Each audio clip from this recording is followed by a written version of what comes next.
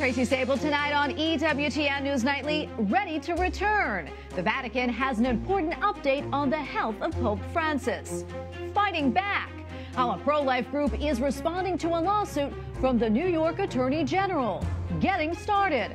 A report from Orlando on the first public day of the U.S. Bishops' Spring Assembly. And who is St. Joseph to me? European artists gather in France to honor St. Joseph. These stories and more tonight.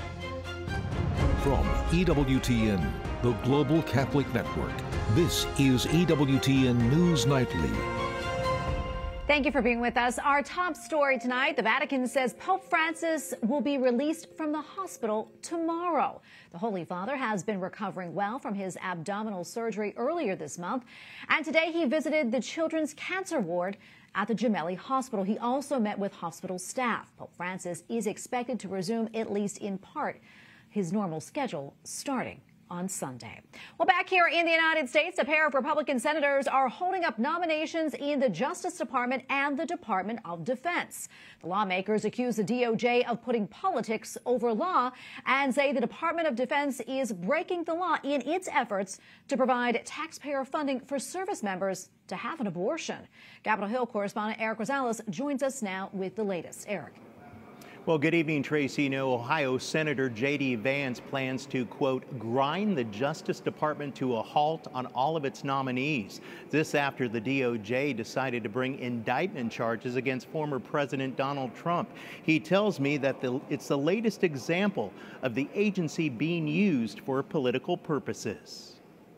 We have Catholic fathers harassed for their pro life activism. We, of course, have violent criminals walking the streets after the 2020 uh, summer of riots. And if you're letting the violent criminals go free and you're harassing Christian parents for their political activism, you're not engaged in justice, you're engaged in politics. Reaction to his boycott came along party lines. They're not stopping the nominations. They can go, they can go to the, uh, the go through the regular process. This is just to stop them from accelerating the process. So every senator's got the right to do this is. For Republican colleagues to say they're for stronger policing or law enforcement and then stop the Department of Justice, which is the major law enforcement agency in this country is absurd and abhorrent. As EWTN News Nightly reported, Senator Tommy Tuberville continues his fight to make the Defense Department reverse its policy of using tax dollars to pay travel related abortion expenses for current service members. You believe they are breaking the law? I don't think there's any doubt. I mean, you can't do this. I mean, you can't you can't make the law from the Pentagon. You just can't do it. And uh, if we're going to do that, let's just lock these buildings up and save the taxpayer a lot of money. Go home. Senator Tuberville is holding up more than 250 military nominations, including a replacement for the Joint Chiefs of Staff Chair, General Mark Milley. This is a, fight, a fight that the Pentagon started, that they're the ones that changed a policy which most of us feel uh, is against the law, that it's against the Hyde Amendment. So we're standing right beside uh, Coach Tuberville. I think what Senator Tuberville has done is just awful. We are we believe that Republican senators, if they care about national security, but should be putting pressure on him uh, to release those holds. Now, Senate Majority Leader Chuck Schumer could hold individual votes, but that would take a great deal of time. And it's not just Republicans who are holding up nominees. The chairman of the Health Committee, Senator Bernie Sanders, says that he is holding up nominees of President Biden also because they have not worked on lowering prescription drug prices enough. At the Capitol, Eric Rosales, EWTN, News Nightly. Uh, for the second day in a row, the White House and dozens of state lawmakers from around the United States meet to discuss abortion. They want to keep it legal in places that already allow it. White House correspondent Owen Jensen reports. Owen? Tracy, today the White House says 32 legislators from 16 states met here doing what the Biden administration calls, quote, working to safeguard access to abortion care, end quote. As more states vote to protect life in the womb, meetings continue at the White House to, quote, discuss state level attacks on reproductive rights. But pro life group Live Action says abortion is not empowering and releases this video. Because at 22, I was told that it wouldn't hurt, I was told that I would be okay, I was told that it would fix what was broken, which was a baby that I did not have time, money, resources, or emotional stability for. And all of those things were a lie. At the U.S. State Department, Secretary of State Antony Blinken discusses the 2023 Trafficking in Persons report, adding the U.S. is committed to combating human trafficking. Because it represents an attack on human rights and freedoms, violates the universal right of every person to have autonomy over their own life and actions. Today, more than 27 million people around the world are denied that right. Also today at the White House, President Joe Biden talks about a big concern for consumers junk fees. I want to thank members of Congress who are working on legislation to address these junk fees in ticketing, lodging, and other industries. And a new candidate enters the race for the White House Miami Mayor Francis Suarez seeking the Republican nomination. I'm going to run for president. I'm going to run for your children and mine. Let's give them the future they deserve. Now, back to those junk fees. Rest assured, they're more than just about money. Ahead of the 2024 presidential election, President Biden trying to show consumers, who of course are also voters, that the government can help their daily lives. And there's about a year and a half to go in case you're keeping a record at home until the 2024 presidential contest, and the field of candidates is pretty much solidified. At the White House, Owen Jensen, EWTN News Nightly. Well, as we reported yesterday, a pro life group is accusing New York's Attorney General of intimidation and restricting freedom of speech. This after Democrat Letitia, James asked a court to ban members of the Red Rose Rescue Group from going within 30 feet of an abortion business. The Red Rose Group sometimes enters abortion businesses in order to provide women with resources to help them continue their pregnancies. And we go now to Kathryn Jean Lopez, Senior Fellow at the National Review Institute and Editor at Large of National Review. Kathryn, great to see you again. Um, a lot great. to unpack here. Uh, but first, the Attorney General called the Red Rose Rescue Group, quote, bigoted zealots and accused members of terrorizing abortion workers and those seeking an abortion. Really strong words there. Um, your thoughts on all of this? Yeah, at the press conference that announced this lawsuit, lawmakers called them terrorists, anti abortion extremists, despicable characters. Um, one, um, one I, I, believe it was the attorney general said that in one of the uh, instances that is cited, they occupied the waiting room. Now, we have a noble tradition of civil disobedience in the United States. Um, in other cases, if these were other issues, uh, people might be celebrating, the Attorney General might be celebrating Father Fidelis and, and some of the other Red Rose rescuers. Um, but instead, this nonviolent resistance to evil is being called terrorism um, again, if you're if you follow Red Rose Rescue, they're not violent. Yes, they break the law. Um, they go into uh, lobbies in, in, some cases of abortion clinics and offer women red roses and resources. What what dignity to to offer a woman a rose uh, when they're asked to leave? They they don't, and and sometimes say we'll leave when the abortion doctors leave. And so they wind up getting arrested. But they know what they're getting into when they do that. And once again, not violent. Kathryn Jean, can we talk about the lawsuit itself now? What more can you tell us about that? Well, you know, unclear because one, one of the things that the lawsuit says that not only the members of Red Rose Rescue, but anybody who works in concert with them could be in uh, have legal difficulties, which include injunctions against them and fines. What does it mean to be in concert with Red Rose Rescue? That mean mean you give them money? That may mean you support them. Am I in concert with Red Rose Rescue? I don't. I'm not a Red Rose rescuer. I don't think everyone's called to do such things. Um, but I support their their right to choose non a, non-violent civil disobedience like Dorothy Day, you know, who not a saint yet, but, but the uh, almost patron saint of civil disobedience. Um, so it's uh, unclear, but what is clear is New York State, the abortion capital of the United States, wants to make sure that women don't have access to alternatives to abortion. One of the lawmakers said that New York will fiercely protect women. Well, that's that's not true. Not if they're in the womb and not if, you know, at the last line of defense, they're looking for a sign of hope for some resource other than abortion. Uh, New York's not looking to protect them. We're almost out of time here, but quickly, um, how do you see this case playing out, and what impact do you think that this lawsuit may have on the pro life movement? Well, one of the impacts is there's a lot of confusion in New York about what Red Rose Rescue is and what a simple prayer vigil is. And um, the, and there have been efforts to stop the simple prayer vigils that we have in lower Manhattan, for instance. Um, there have been times in the last months since Dobbs, where the police have asked us not to process the half a block from Old St. Patrick's to uh, to the abortion clinic, and we already stand across the street. We're not we're not standing in front.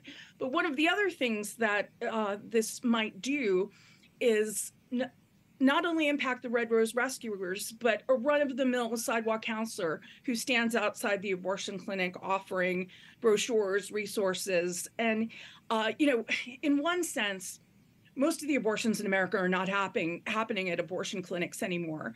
But if you are going in because it's a later term abortion, you, you have a right to have a conversation with someone who wants to offer you resources. So that's a real danger in, in New York State. Well, Kathryn, so great to be with you, my friend, and um, getting all your insights on everything. We really appreciate it. Thank you, Tracy. And we have a lot more still to come here on EWTN News Nightly, including gathering of church leaders. U.S. bishops hold their first public day of discussions at the Spring Assembly. We have reaction from Orlando. Plus, we hear from a Catholic farmer in Louisiana who is facing major backlash for defending the faith on social media.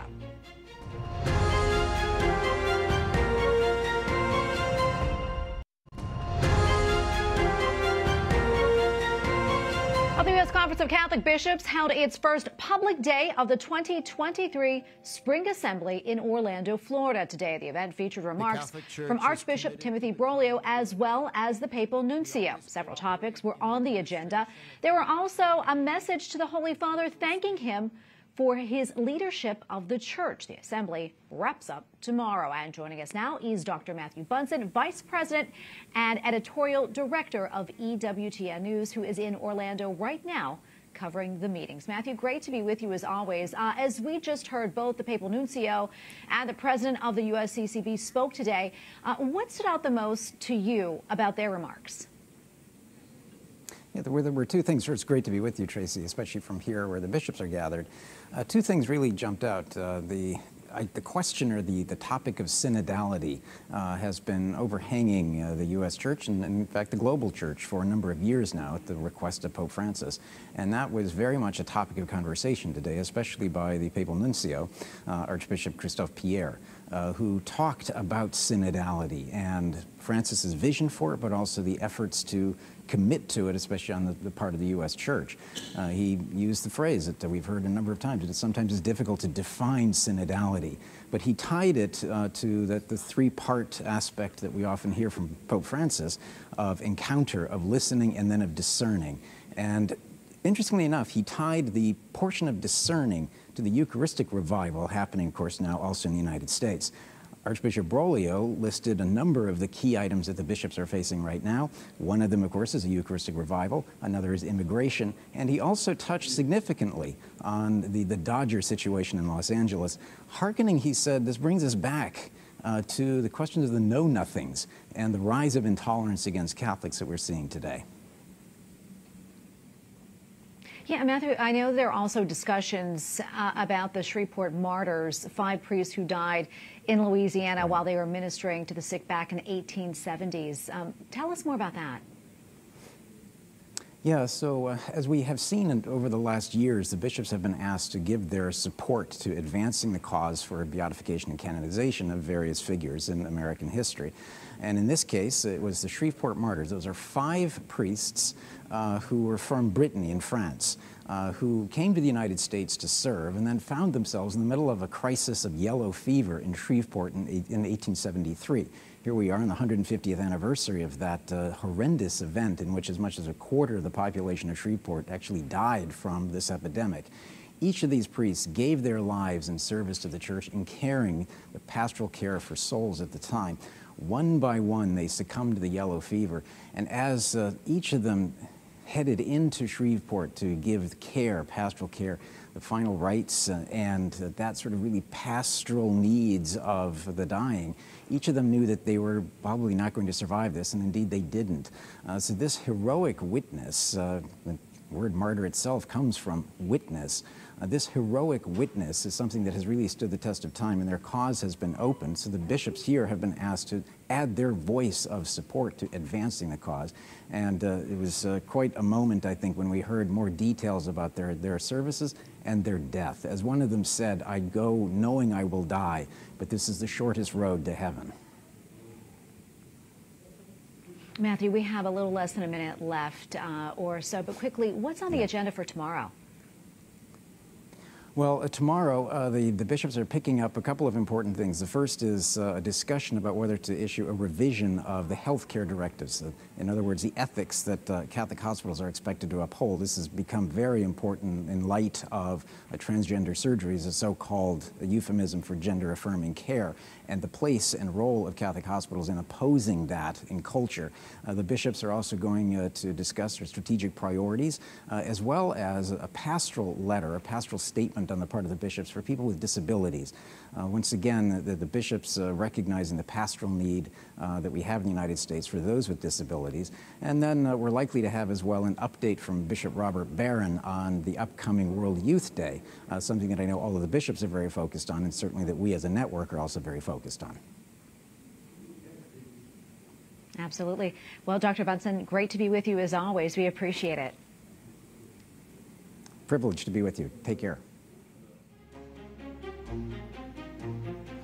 Up next on EWTN News Nightly, firmly planted. A Louisiana farmer defends his social media post honoring the Sacred Heart of Jesus. Plus, honoring St. Joseph, European artists gather in France for a special contest.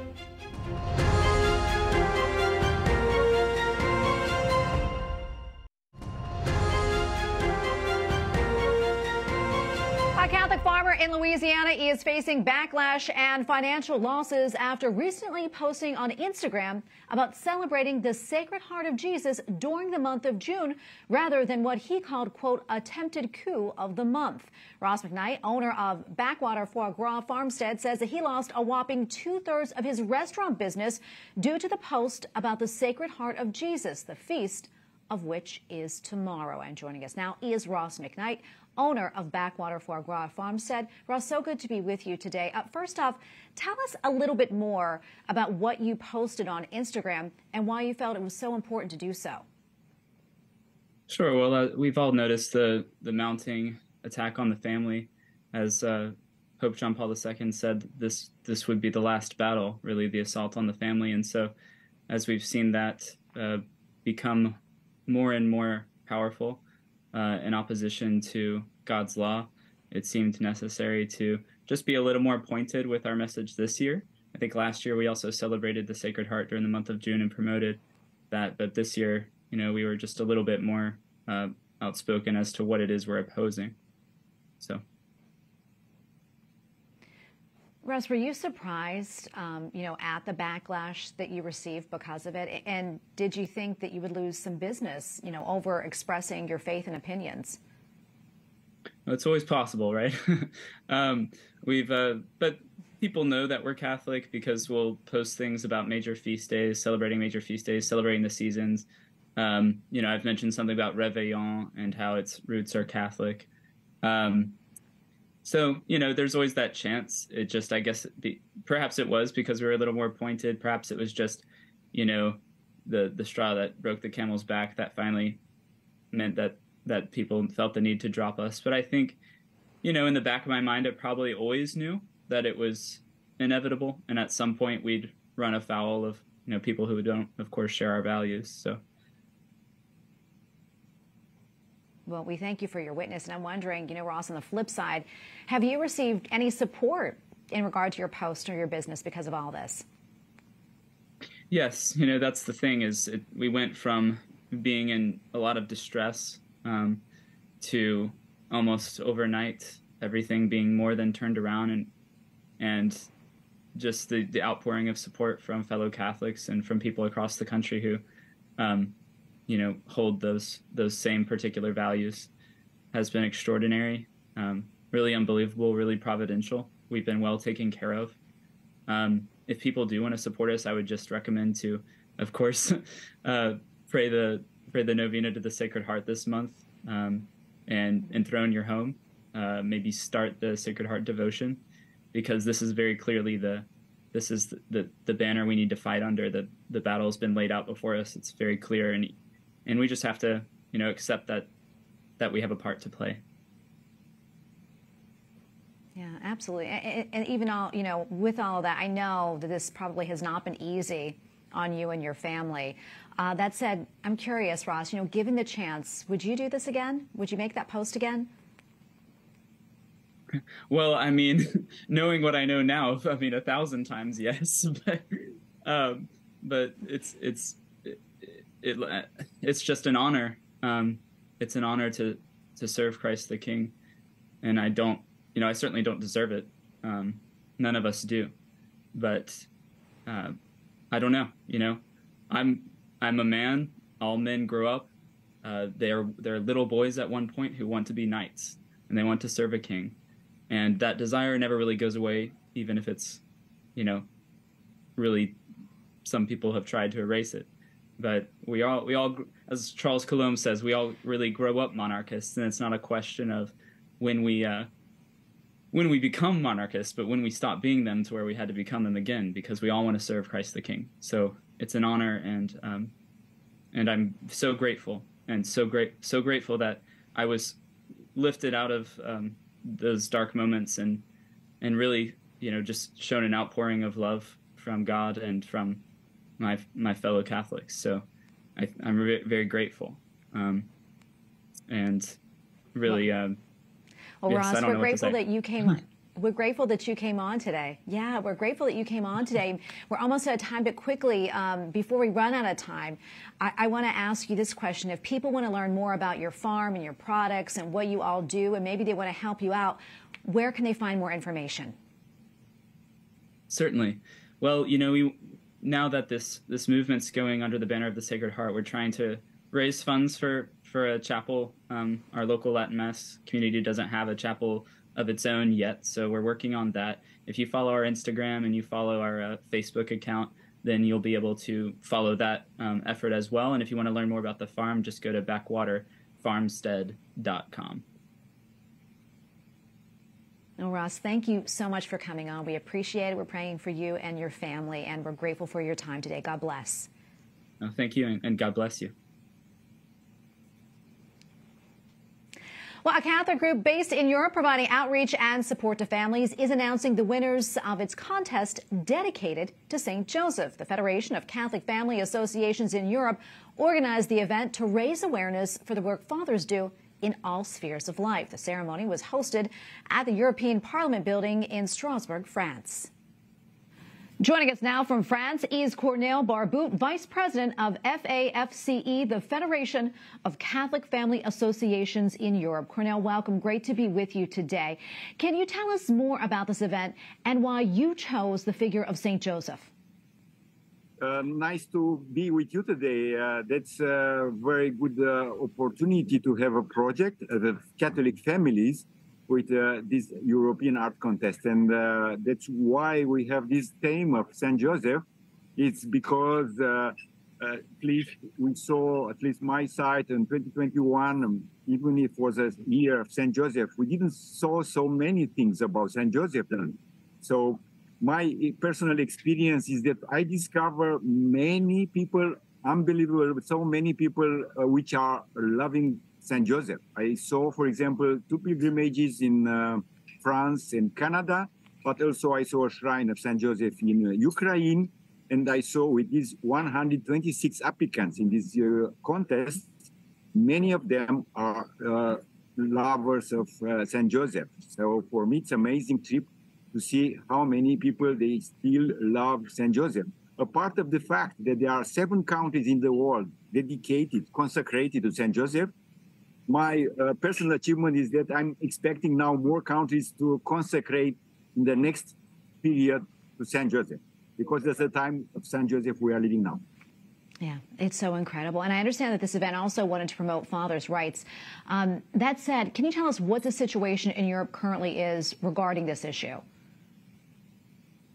That's a clear, uh, big uh, fight uh, against fathers and against the families. So, uh, but that's what I see more and more, uh, for example, with the legal uh, in many countries with paternal leave for both for fathers and mothers.